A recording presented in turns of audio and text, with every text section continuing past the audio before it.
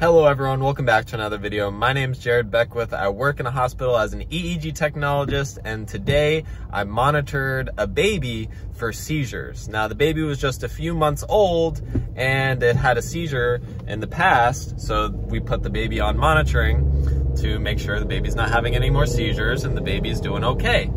So I had some good experience monitoring a baby today and I just want to talk about it while I drive home. One interesting thing while monitoring the baby I saw was asymmetric sleep spindles. Now that's actually normal if the baby's only a few months old. Uh, in stage two sleep, you get these things called sleep spindles, which are uh, pretty much the hallmark of stage two sleep. That's the main thing you can see to know someone is in stage two sleep. So that's one cool thing I, I, found with the baby. And another thing about babies are that their background rhythm, which in adults is an alpha rhythm between 8 and 12 hertz, and a baby, it's normal in its waking state to be more in the theta delta range until they mature, the brain matures, and then it can get up to that 8 to 12 hertz marker. And so that's another interesting thing about monitoring a baby today. And another thing that I thought of that was actually quite frustrating, guys, was when I was monitoring the baby, uh, the baby, the mom kept picking up the baby and moving the baby to the couch, moving the baby back to the crib, moving the baby back to the couch, and then back to the crib. It's like they couldn't make up their mind, and I had to keep moving the camera back and forth, back and forth so many times. It actually got really frustrating, guys, because if you're unfamiliar with EEG, there's two parts to doing epilepsy monitoring. You have your video, that's the first part, and the other half is the EEG waves.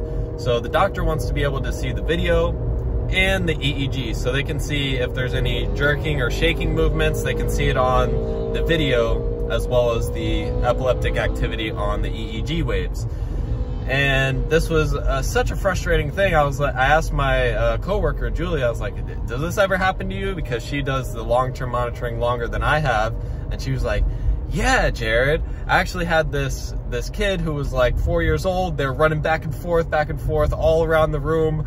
And at the same time, she said she actually had a patient who was actually having actual seizures, nonstop seizures, status epilepticus, and it made it hard to, you know, con contact the doctor and get the patient who's having the actual seizures treatment because she's busy turning the camera back and forth from the four-year-old who was who was relatively normal, running back and forth all across the room. I was asking her just to confirm my idea for this invention, guys. So, because I was so frustrated having to move the camera back and forth so many times, I'm like, well, why don't we just use computer vision have the computer itself track the patient and move across the room wherever the patient goes. Now it's completely possible with today's computer vision technology. We're using the same kind of technology in building seizure detection. And if you guys remember way back, I had this thing that could detect a patient's eyes open versus eyes closed. So I, we already have computer, vision technology that we've made samples of. And this is how this whole thing got started in the first place. So it, I'm thinking it's possible to make a EEG program that can track the patient around the room. So if you got a four-year-old running across the room, uh, the camera will automatically follow the four-year-old around the room. Or if the mom has their baby who's, you know, one year old or less, just a few months old, and they're picking up the baby, moving the baby around the room, the camera will automatically follow that is a genius idea. And I'm going to be adding it to my software eventually. I mean, we don't even have our own uh, EEG recording device. We just have software that can read other companies' EEG recordings. So it might take a long time, might take some years, but it's something I'm going to keep in the back of my mind.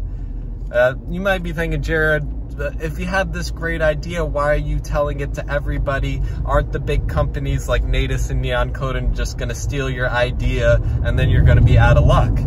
Well, yeah, they could take that idea and run with it and add it into all their machines before my company is able to do it because I said it right here on camera. But one thing that I've always thought if a billion dollar company is gonna copy someone, I have to make sure the billion dollar EEG companies are copying me, Jared Beckwith. If they're gonna copy anyone, they sure as hell are gonna be copying me because I'm the one with the ideas. I know what the future of EEG is looking like. We're bringing these revolutionary new features to you guys. Uh, hopefully we can get some FDA clearance eventually.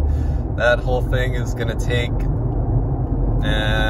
sometime next year, should be cleared. It all depends on when we submit it to them because it takes about six months for it to actually get looked at and yeah, it's it's uh, it's a long journey, guys. I mean, I might sound a little discouraged, but it's actually kind of blissful. It's a it's a good thing. It's I'm having a great time, guys. That's what really matters. I'm having a great time. I had to shoot this video to tell you guys about my uh, experience monitoring a baby for seizures.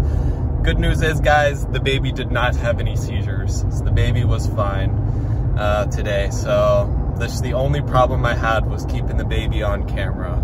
And that can be solved with the magic of computer vision.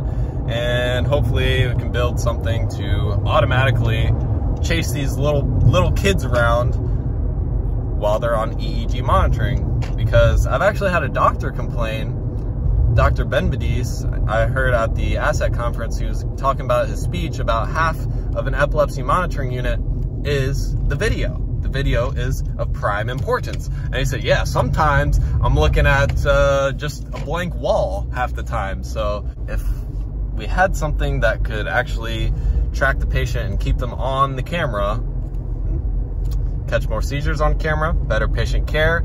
It's less frustrating for the EEG technologist who has to chase them around on the video. That was ridiculous today. I was actually uh, frustrated having big size as I was doing it. That's how the I even thought of the idea for the automatic patient tracking feature.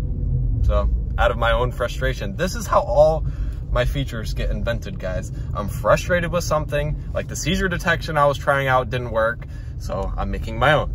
So yeah, guys, that's pretty much it. This was my awesome day at the hospital monitoring a little baby, cute baby, had a fun time. Babies are definitely harder to read since I see them way less. So this was a good experience, guys.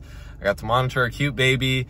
Uh, I learned a little bit about neonatal EEGs, baby EEGs, and I thought of this new interesting feature idea to track babies all around the room while their parents take them back and forth between the crib and the couch. Or even little four-year-olds like my uh, coworker was saying, running back and forth across the room. I mean, it's an idea. Make sure you hit the like button. I appreciate it. I love you all, my EEG friends. Uh, comment down below. Is this a good feature idea or should I just scrap it? I mean, it just makes sense to me. It's just, I think it's the big thing is whether it's possible or not. And from what I think, I think, yeah, it's possible.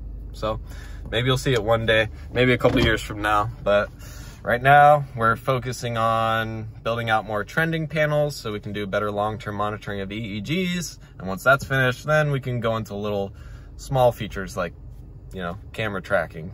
But yeah, guys, thank you all for watching. I will see you all on the next video. I love you guys.